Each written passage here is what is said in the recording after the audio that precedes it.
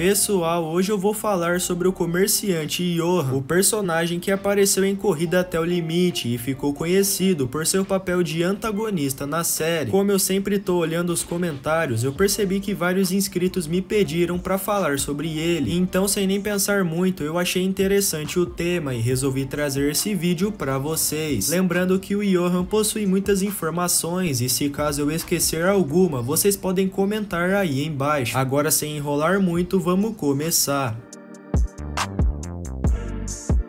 Antes de falar sobre o Johan, vamos relembrar quem foi ele. Resumindo bem rapidinho, ele foi um personagem muito importante na história da série. Afinal, a função dele afetou diretamente o rumo que o Soluço teve com os Cavaleiros. Basicamente, como eu disse no começo do vídeo, o Johan foi um comerciante marítimo que fingia ser aliado dos Cavaleiros. Porém, essa estratégia não durou muito tempo, afinal, logo depois ele revelou suas verdadeiras intenções. Para falar a verdade, o Johan era um viking simpático que fazia amizade com todos os mercadores e levava algumas informações para o Soluço. Embora essa visão boa que ele passou foi um disfarce, pois ao longo da série descobrimos que na real ele fazia parte dos caçadores de dragões e apenas tentava se aproximar dos cavaleiros para colher informações privilegiadas que futuramente iriam ajudar ele e os outros a chegarem ao grandioso rei dos dragões. O Johan queria ajudar o Soluço de fachada para depois levar tudo o que sabia para os outros caçadores. Aqui nós temos que ressaltar um ponto importante. O Johan não passou a fazer parte da franquia a partir da série Corrida até o Limite. Na verdade, ele foi construindo um legado ao longo da história, pois ele apareceu primeiramente na série Cavaleiros de Berk, onde depois retornou em Defensores de Berk e por último reapareceu em Corrida até o Limite. Isso mostra que em ordem cronológica o Johan faz parte desse universo há muito tempo e conseguiu conquistar a confiança dos cavaleiros ao decorrer dos anos. Aliás, não podemos esquecer que ele fez uma certa amizade até mesmo com o estoico somente para se aproximar do soluço e ganhar vantagem em cima dele. Isso deu certo à primeira vista e toda sua enganação foi útil para os caçadores que ficavam sempre um passo à frente em literalmente tudo.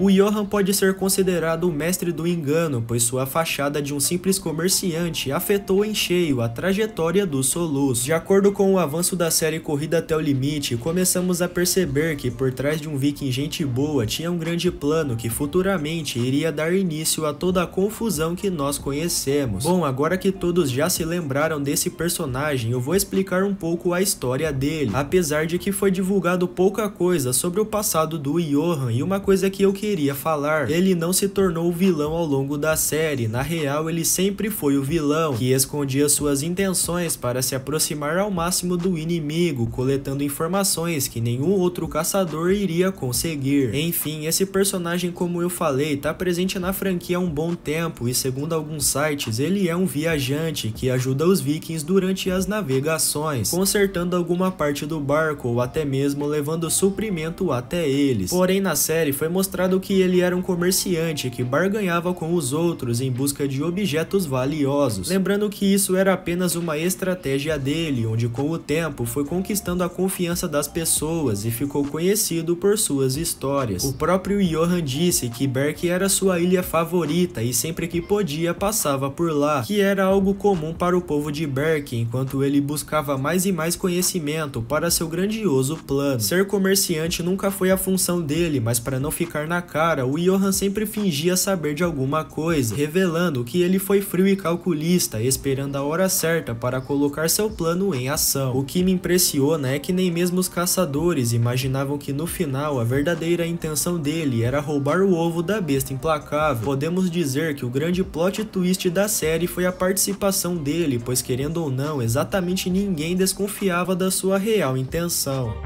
O comerciante Johan não era tão inocente e sempre fazia de tudo para passar despercebido entre os cavaleiros. O que eu acho mais interessante é que além da inteligência avançada, ele ainda possui conhecimento sobre diversos dragões e não deixava nada a desejar quando o assunto era domínio sobre as criaturas. A maior prova disso foi quando ele revelou o esconderijo do rebentador de areia e neutralizou um estridente usando apenas uma única flecha. Isso revela que o Johan tinha um certo domínio em combate combate e mesmo que seu forte seja a inteligência, durante um combate frente a frente, ele era capaz de enfrentar qualquer inimigo facilmente. Na série, vimos que ele consegue arremessar adagas com precisão, sendo mais uma prova de que sempre estava com uma carta na manga e tinha noção de tudo que poderia acontecer. O comerciante Johan foi um dos melhores antagonistas da franquia, por conta da sua maestria em enganar as pessoas. No final ele acabou sendo congelado pela besta implacável, mas deu para ver desde o começo a verdadeira intenção dele era ser um informante para no futuro sair com vantagem. Todos nós vimos que a máscara dele caiu e boa parte do seu plano foi por água abaixo, porque nos últimos episódios era cada um por si, e ele deixou de ajudar os dois lados para se auto-beneficiar. Claramente tudo deu errado e o Johan não conseguiu fazer nada, mas que certamente ele foi o mestre do engano, isso ninguém pode negar. Esse personagem ganhou uma personalidade forte, voltada aos traços europeus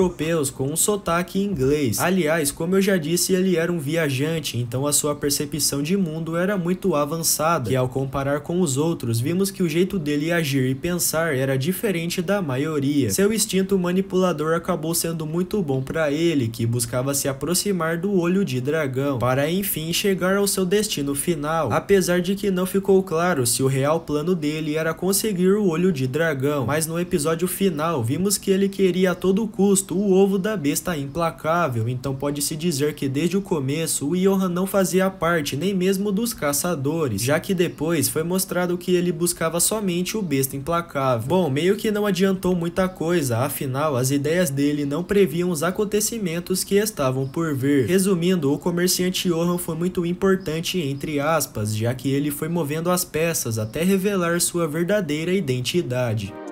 Bom, gente, eu vou ficando por aqui. Para quem queria saber mais sobre o comerciante Johan, o vídeo foi esse. Espero que tenha dado para entender um pouco da história dele. E se você gostou, não esquece de deixar o like, de se inscrever no canal e de ativar também o sininho de notificações, para sempre ficar ligado em todas as novidades. Confira depois os outros vídeos do canal e escreve aí nos comentários se você acha o Johan um bom personagem. Muito obrigado por assistir até aqui. Para quem quiser, o meu Instagram vai estar tá aparecendo aparecendo agora aí na tela e aqui na descrição eu vou deixar o link do meu servidor no Discord. No mais é isso, eu desejo a todos uma ótima semana, fiquem com Deus e até a próxima, tchau!